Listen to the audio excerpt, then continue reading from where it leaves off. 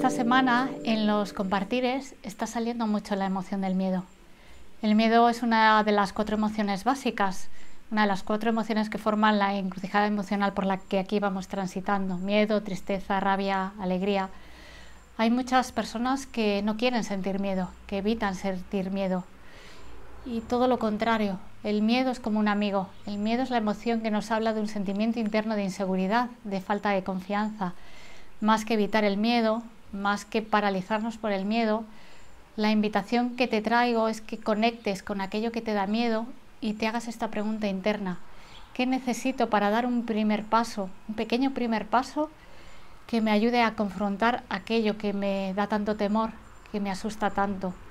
El miedo se vence afrontando aquello que nos causa miedo, pero yendo muy despacito, paso a paso, y después de cada paso conquistado, este gesto de soltar y respirar sintiéndome a salvo, sintiéndome segura en este paso conquistado.